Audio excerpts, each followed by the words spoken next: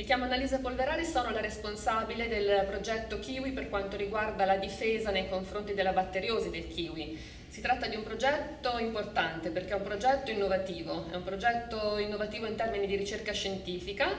e anche di ricerca di soluzioni nei confronti di questa batteriosi. Ecco, come ricerca scientifica noi ci poniamo l'obiettivo prima di tutto di capire come funzionano le relazioni tra la pianta e il batterio, eh, che cos'è che scatena la virulenza? E quindi pensare poi a delle modalità innovative di controllo di questa patologia, eh, considerando che al momento nei confronti di questa batteriosi ci sono poche possibilità di controllo e che sono basate essenzialmente sull'uso del rame, eh, il rame ha delle limitazioni in agricoltura e probabilmente ne avrà di più in futuro, eh, gli antibiotici non si possono utilizzare, quindi la ricerca di soluzioni innovative è quanto mai eh, rilevante. Nel frattempo, mentre lavoriamo sul fronte scientifico, stiamo anche valutando alcune centinaia e forse migliaia di molecole che siano in grado di inibire il processo infettivo, prendendo anche spunto e ispirazione dall'ambito medico, eh, per individuare quelle sostanze che sono in grado non tanto di uccidere il batterio quanto di bloccare la sua virulenza, che è una modalità veramente nuova di pensare alla difesa nei confronti della batteriosi.